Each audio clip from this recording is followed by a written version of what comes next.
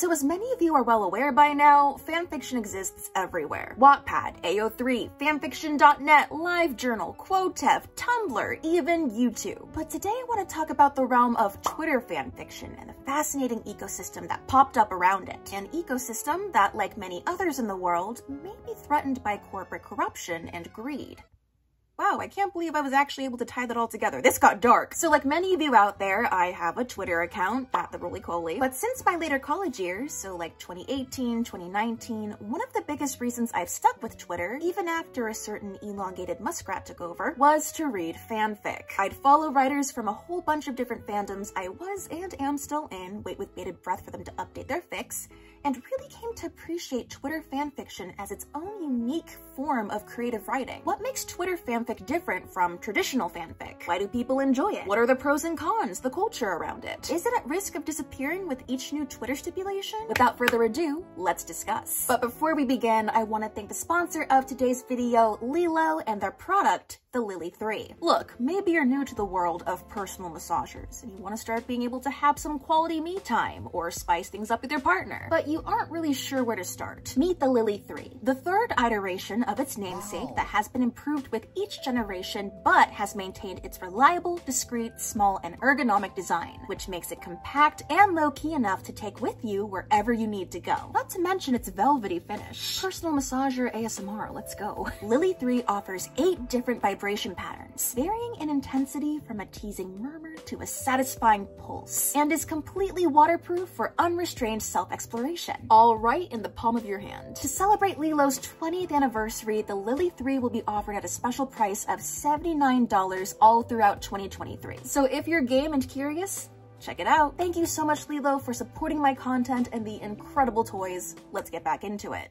What's a threadfic? Fanfics on Twitter are known as threadfics due to being created and existing as threads. Posts that are built upon with subsequent replies, forming a sequence that goes on and on and on until a thread ends. You're left with this string of posts, thread, all connected, that when looked at in all its entirety, makes a fic. It's like a literary accordion. Now, as you can imagine, writing a fic, or writing anything really, can be a challenge on Twitter due to the character limit. You have to encapsulate your thoughts, the story you want to tell, and make it punchy and nice to read, all within 280 characters. And then you have to do that again, and again, and again, and again to build your thread fic.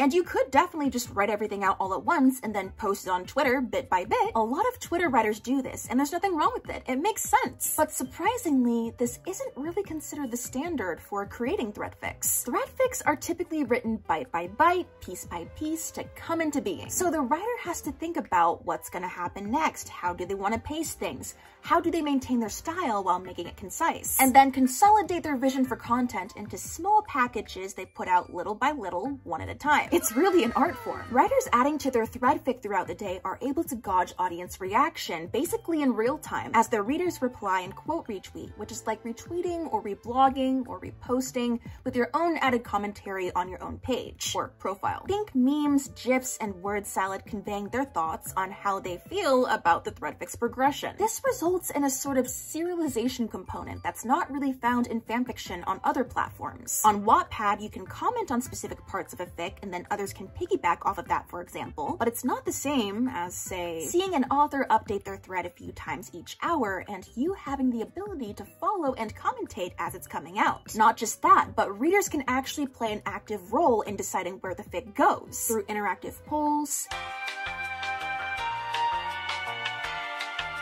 services like Curious Cat, and conversing with the author themselves in replies or even DMs. Should a character chase after their runaway lover after a really bad spat or wait it out and let them cool off but risk them not coming back? The choice is in your hands. And if it gets really intense and an author sees that people don't like where the story is going, then they still have room to pivot fairly easily or tell them to off and block them all if they're being really, really pushy. Threadfics inherently feel more casual, more laid back. You'll often see social media AU threadfics because it just suits the format so well. Why do people enjoy writing threadfics? For fic authors, it's nice for them to be able to stream of consciousness write something and share it with the world without the expectations of a well-polished, dated, structured fanfic posted in large chunks over a long period of time looming over them. Threadfics often serve as brainstorming spaces, an area to explore ideas freely with little risk. Even if you really don't feel like writing, writing a threadfic still feels like you're doing something and helping keep those creative juices flowing. You could tweet out something like, big idea for an AU where character A meets character B at the Target pharmacy and they both witness the pharmacist kill someone and now the trajectory of their lives has been changed forever. You could fully flesh it out or just leave it as a loose outline you'll flesh out at some point later on. Or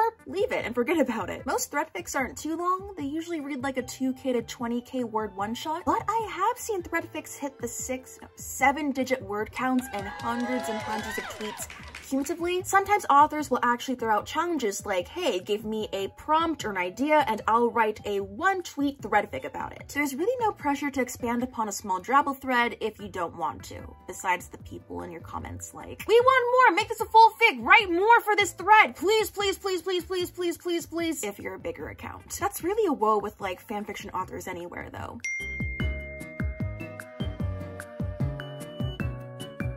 Why do people enjoy reading threadfics versus the more traditional fanfic? I'm speaking very generally when I say this, but threadfics can be continuous, fairly consistent, quick to digest, and easy to read. You also have the chance to feel more connected to the writers if they post things besides their fics on their Twitter. You can see life updates, explanations as to why they can't update at the moment, author's notes giving you the inside scoop right below the fic blurble they're discussing, with everything accessible all in the same place. Imagine you're on your work break at lunch, or at school waiting for your teacher or professor to arrive. You've got, say, 20 minutes, you open up Twitter, scroll through, see what your favorite fanfiction authors are up to, and what's this? They just started a new threadfic and the last update was five minutes ago. You read every tweet in the thread and you even manage to catch three or four more updates before class starts or you have to go back to work. And you know, by the time your next break or free period rolls around, the threadfic would have likely updated a few more times, so it's something to look forward to. And if it turns out that threadfic didn't get updated, maybe the author got busy with something, they have a life after all, then it's likely that other threadfics you're following did get updated.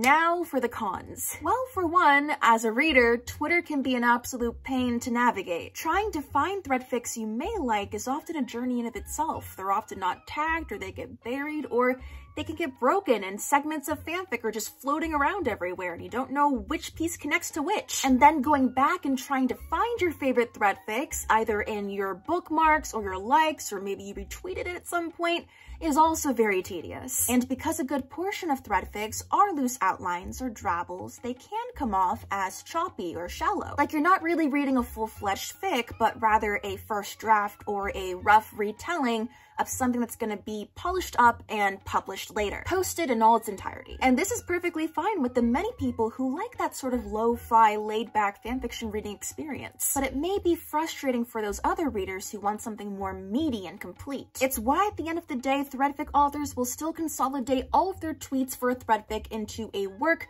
they break up into chapters and then post onto AO3. It can also be hard to go back and reread portions of a threadfic, especially if it's a long one, because of the format restrictions the way Twitter works with scrolling. It can be really inconvenient and obnoxious to have to scroll and scroll and scroll to see what happens next, and then heaven forbid Twitter refreshes or your phone dies and you can't find your threadfic anymore. This has happened to me way more times than I'd like to admit. As a writer, there may be a different pressure present that differs from the usual looming dread of, oh no, I gotta finish writing and editing and uploading my fanfic to AO3 or Wattpad. With Threadfics, because everything is happening all at once with the content being produced and reader reactions and you're seeing people comment or quote retweet or like your threadfic. It's all happening in real time. You can feel either exhilarated by the attention you're getting or incredibly and uncomfortably perceived because people are literally staring at your fanfic. You can see it all in the numbers and waiting for that next tweet to come